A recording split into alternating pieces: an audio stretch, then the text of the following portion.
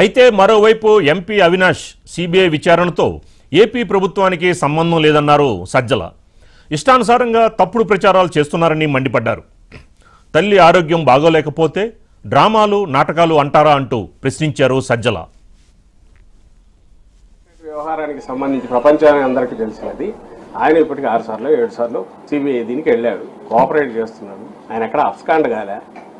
ఒక ఒక రెస్పాన్సిబుల్ పొజిషన్లో ఎంపీగా ఉన్నారు. మదర్కు బాగలేదు ఫాదర్ అక్కడ ఉన్నారు జైల్లో ఉన్నారు కాబట్టి తను లెటర్ పెట్టాడు అడిగారు.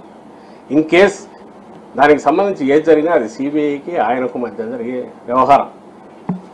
దానికి సంబంధించి మదర్కు బాగాలేదనేది వెళ్ళాడు చెప్పారు. వాళ్ళు ఒకవేళ వచ్చింటే స్టేట్ పోలీస్తో మాట్లాడితే వాట్ ఎవర్ రిక్వైర్డ్ చూసుకొని వాళ్ళ పని వాళ్ళు చేసుకుంటారు. అండ్ మీడియాకు సంబంధించినంత వరకు వార్తలు ఏమన్నా వాటికి సిబిఐ ఇంతవరకు దాని గురించి ఏం చెప్పలేదు. ఇంకొకరి దాని గురించి మాట్లాడట్లేదు. వాట్ ఎవర్ ఇది బయట పబ్లిక్ డొమైన్లో ఉన్నది. అవినాష్ రెడ్డి రిక్వెస్ట్ అవినాష్ రెడ్డి మదర్కు బాగాలేదు కర్నూలు హాస్పిటల్లో ఉంది. ఈయన రిక్వెస్ట్ చేశారు సిబిఐని కొంత టైం అనేది ఉంది. ఆ ప్రాసెస్లో రిలీఫ్ కోసం కోర్టుకు వెళ్ళాడు కోర్టు ఈరోజు సుప్రీంకోర్టు ట్వంటీ ఫిఫ్త్ మన హైకోర్టు వినమన్నట్టు.